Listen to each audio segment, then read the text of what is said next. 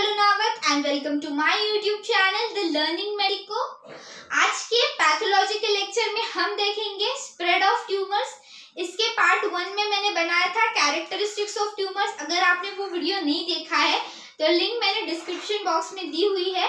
पहले आप वो वीडियो देखिए मतलब आपको इसमें आ, कोई डाउट नहीं होगा. So spread of tumours spread of tumours two way से हो सकता है डिस्टिंग डायरेक्ट स्प्रेड हो सकता है या फिर डिस्टिंग स्प्रेड होता है। जो डिस्टिंग स्प्रेड है, उसे हम मेटास्टासिस बोलते हैं और जो डायरेक्ट स्प्रेड है, उसे हम लोकल इन्वेजन बोलते हैं। लोकल इन्वेजन में बिनाइन ट्यूमर्स है, वो जो है, वो कैप्सुलेटेड होते हैं उन्हें कैप्सूल होता है।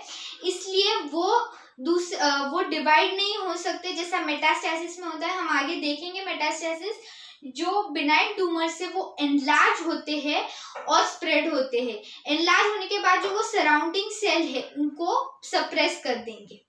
एंड जो मेलिग्नेंट सेल है, वो भी एनलार्ज हो सकते हैं और स्प्रेड हो सकते हैं। एक्सपांड और एनलार्ज होकर वो स्प्रेड होते हैं। और जो मेलिग्नेंट ट्यूमर्स है, जो वेल डिफ्रेंशिएटेड है, वो कुछ केसेस में एनकैप्सुलेटेड भी हो सकते हैं। अब हम देखेंगे मेटास्टैसिस इन डिटेल सो पहला है metastasis. So definition, metastasis is defined as the spread of tumors by invasion in such a way that, the, that a discontinuous secondary mass or tumor is formed at the site of in uh, at the site of lodgement. बहुत ही uh, है इसको एकदम simple way में समझेंगे ये tumour uh, है imagine this is a tumour and then it divides and forms a secondary mass secondary मतलब जो प्राइमरी से ओरिजिन हुआ है सेकेंडरी सो so, ये एक सेकेंडरी मास फॉर्म करता है.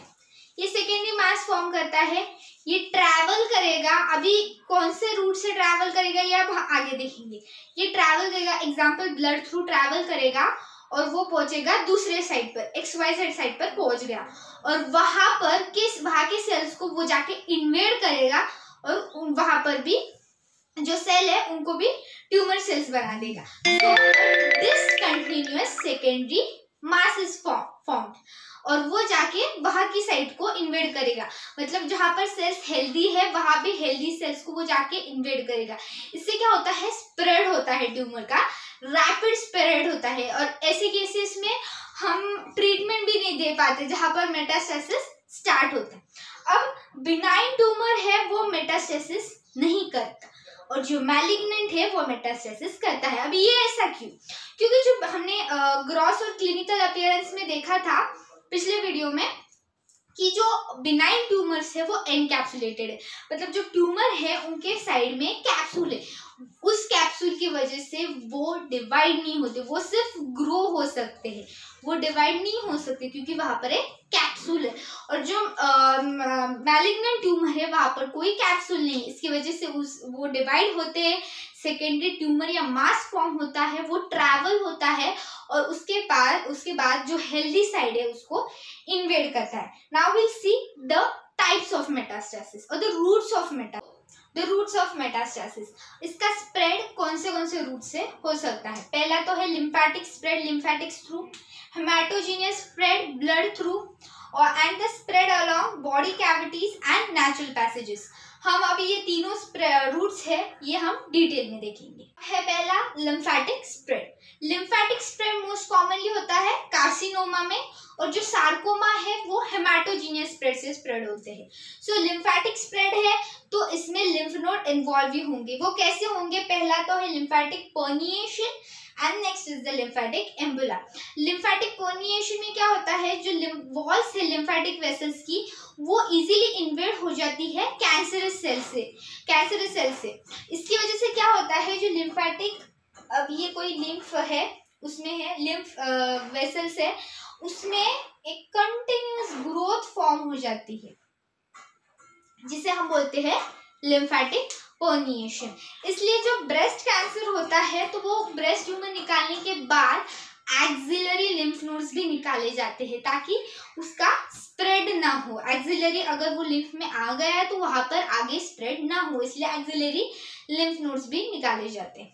So next is the lymphatic emboli जो ट्यूमर है, अब ये लिम्फ वेसल है, जो ट्यूमर सेल्स है, वो ऐसे एम्बुला फॉर्म कर कर सकती है लिम्फेटिक वेसल में। इसे हम बोलते हैं lymphatic emboli so this was the spread of tumours by lymphatic pathway next is the haematogenous spread haematogenous spread most commonly sarcoma में दिखाई देती है, पर ऐसा नहीं कि कार्सिनोमा इससे स्प्रेड नहीं हो कार्सिनोमा इस रूप से स्प्रेड नहीं होगा। कार्सिनोमा भी होता है, और ये mainly lungs breast thyroid kidney, liver, prostate and ovaries में दिखाई देता है।